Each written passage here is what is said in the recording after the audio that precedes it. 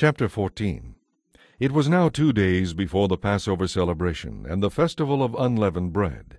The leading priests and the teachers of religious law were still looking for an opportunity to capture Jesus secretly and put him to death. But not during the Passover, They agreed. or there will be a riot.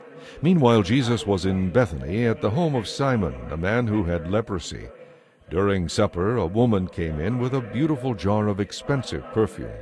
She broke the seal and poured the perfume over his head. Some of those at the table were indignant. Why was this expensive perfume wasted? They asked, She could have sold it for a small fortune and given the money to the poor. and they scolded her harshly. But Jesus replied, Leave her alone. Why berate her for doing such a good thing to me? You will always have the poor among you, and you can help them whenever you want to. But I will not be here with you much longer. She has done what she could, and has anointed my body for burial ahead of time. I assure you, wherever the good news is preached throughout the world, this woman's deed will be talked about in her memory. Then Judas Iscariot, one of the twelve disciples, went to the leading priests to arrange to betray Jesus to them. The leading priests were delighted when they heard why he had come, and they promised him a reward. So he began looking for the right time and place to betray Jesus.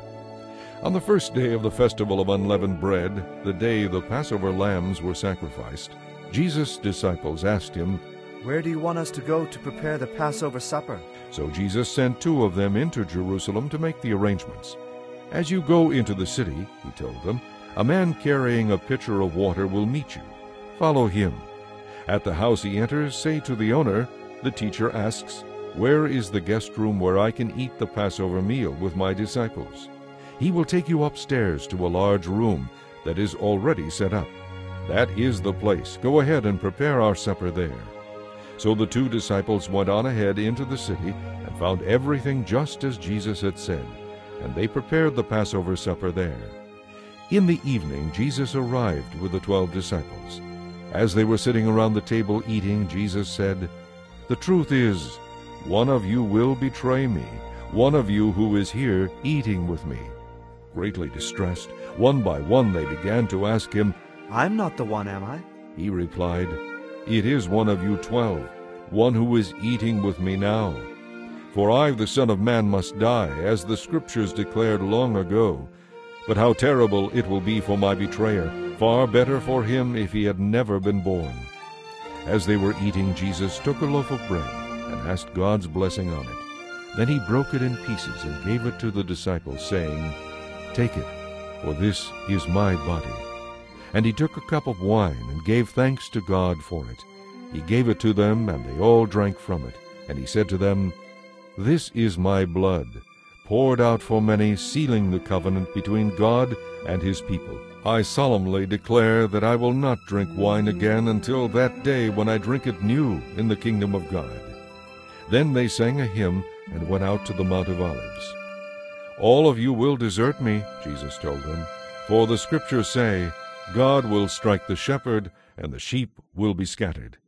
But after I am raised from the dead, I will go ahead of you to Galilee and meet you there. Peter said to him, Even if everyone else deserts you, I never will. Peter, Jesus replied, the truth is, this very night, before the rooster crows twice, you will deny me three times. No, Peter insisted, not even if I have to die with you. I will never deny you. and all the others vowed the same. And they came to an olive grove called Gethsemane, and Jesus said, Sit here while I go and pray. He took Peter, James, and John with him, and he began to be filled with horror and deep distress. He told them, My soul is crushed with grief to the point of death.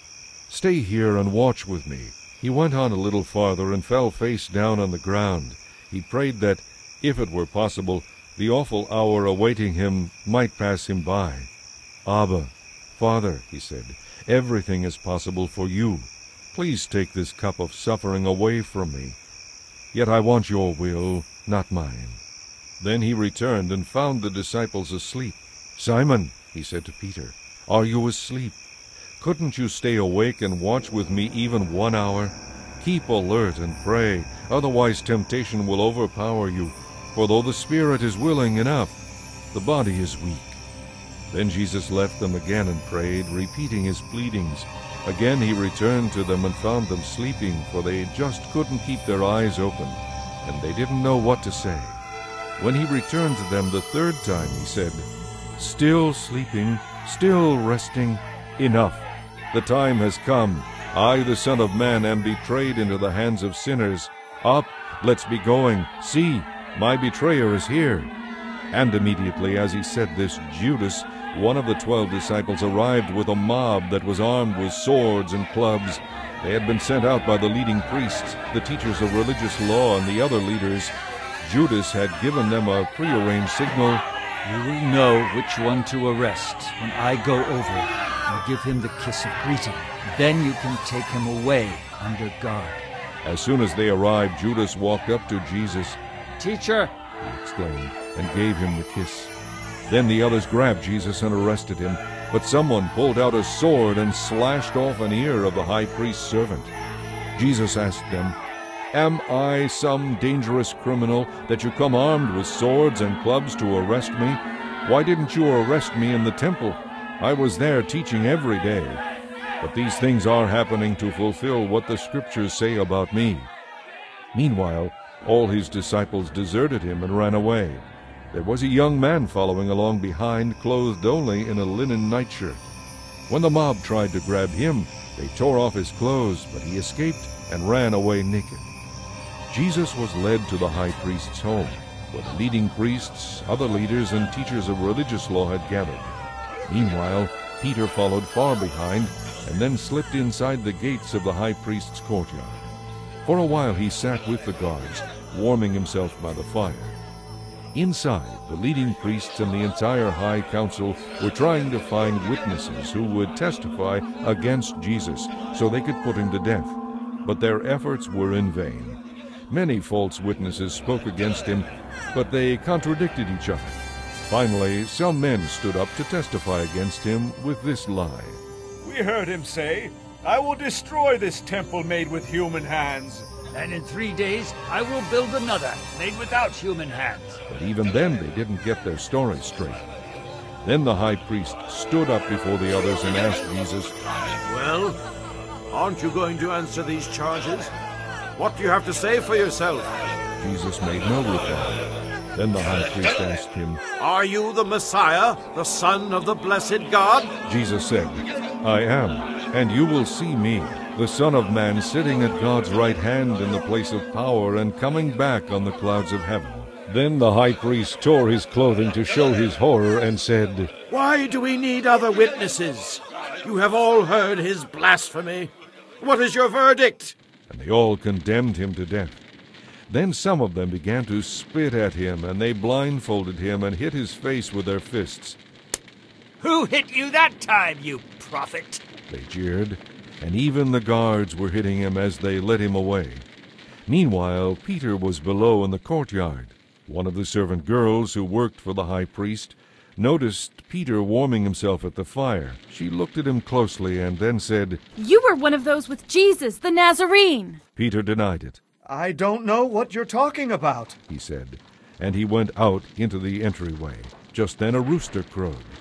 The servant girl saw him standing there and began telling the others. That man is definitely one of them. Peter denied it again. A little later, some other bystanders began saying to Peter, You must be one of them, because you are from Galilee. Peter said, I swear, by God, I don't know this man you're talking about. and immediately the rooster crowed the second time. Suddenly, Jesus' words flashed through Peter's mind. Before the rooster crows twice, you will deny me three times. And he broke down and cried.